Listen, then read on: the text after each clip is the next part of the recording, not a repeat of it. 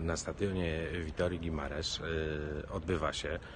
co mam nadzieję widać y, za mną, ostatni trening reprezentacji Polski przed y, jutrzejszym meczem z Portugalią w Lidze Narodów. E, Teoretycznie jest to spotkanie bez stawki. Biało-czerwoni przegrali już przecież znacznie wcześniej e, rywalizację i z Portugalią i z Włochami e, jeśli chodzi o kolejność w tabeli e, naszej grupy w Lidze, Lidze Narodów, ale tak naprawdę e, stawka tego spotkania jest bardzo wysoka.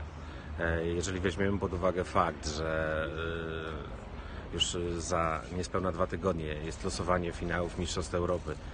e, 2020 roku, jeżeli weźmiemy pod uwagę fakt, że trzy ostatnie spotkania e, nasza drużyna narodowa przegrała, E, jeżeli weźmiemy pod uwagę fakt, że tak naprawdę e, mundialowy kryzys nie został,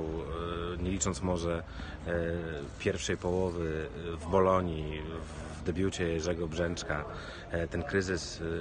e, nie został zdiagnozowany, nie został, e, już nie mówiąc o, o, o, uleczeniu, a tak naprawdę e,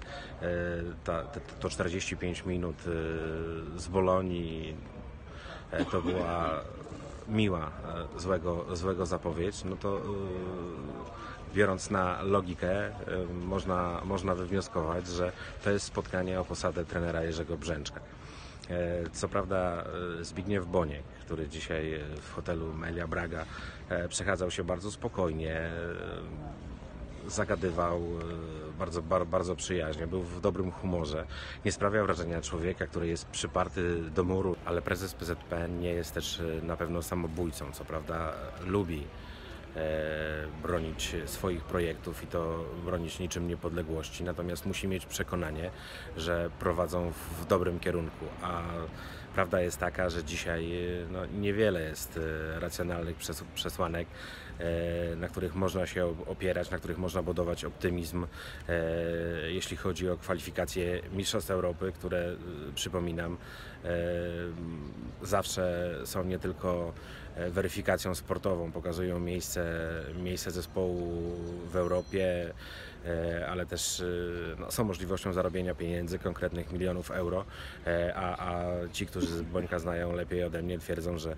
mm, jeżeli będzie miał wątpliwości, to nie podejmie takiego ryzyka, nie powierzy prowadzenia w kwalifikacjach drużyny, która, która nie wygrywa, która osiąga wyniki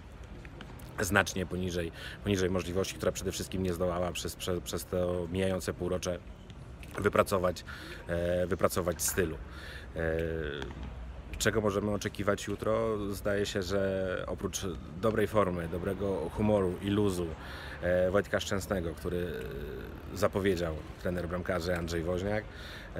i ustawienia w obronie jednak zmodyfikowanego w, w w porównaniu do, do spotkania z Czechami, bo w miejsce Marcina Kamińskiego ma wystąpić e, Tiago Cionek, możemy e, nadal e, liczyć na kontynuację, nie wiem czy to dobry pomysł, e, eksperymentu z Piotrem Zielińskim, który dotąd e, no, raczej nie rozegrał spotkania na, na miarę e, oczekiwań, nawet, nawet trenera Brzęczka, który faworyzuje gracza, gracza Napoli i możemy spodziewać się jednego napastnika. Zdania są podzielone. Z jednej strony wtajemniczeni. Twierdzą, że, że na pewno wystąpi Arkadiusz Milik, który brał udział w dzisiejszej konferencji, ale podobno była jeszcze jakaś, e, konferencji prasowej oczywiście, ale podobno była jakaś wątpliwość. Jest niewielka szansa, że w wyjściowym składzie może zagrać Krzysztof Piątek. E, Tymczasem e, no, prawda jest taka, jeżeli popatrzymy na te ostatnie spotkania, że powinni grać obydwaj, tyle tylko, że ustawieni w pionie, a nie w poziomie tak jak byli, e, nie poziomo jak byli próbowani. Pionowo Arkadiusz Milik na dziesiątce jest piłkarzem o wiele bardziej wszechstronnym, który znacznie więcej daje w rozegraniu, natomiast Piątek jest aktorem charakterystycznym, egzekutorem i właśnie w ten sposób powinien, e, jak się wydaje, zestawiać e, drużynę mm, e, Jerzy Brzęczek, e, trener jak się okazuje nawet dla pracowników PZPN-u bardzo konserwatywny, bardzo tajemniczy. Dzisiaj odmówił ujawnienia nazwiska kapitana. Opinia publiczna ma się, e, ma się dowiedzieć jutro, więc nie dziwcie się, że nawet zaglądając za kulisy trudno dzisiaj ocenić, kto wy, wybiegnie na szpicy w naszej reprezentacji. Natomiast niezależnie kto, kto, kto by wybiegł i tak stawka jest, powtórzę, e, bardzo wysoka. To jest e, spotkanie prawdopodobnie o być albo nie być Jerzego Brzęczka e, w reprezentacji Polski w kwalifikacjach Mistrzostw Europy 2020 roku.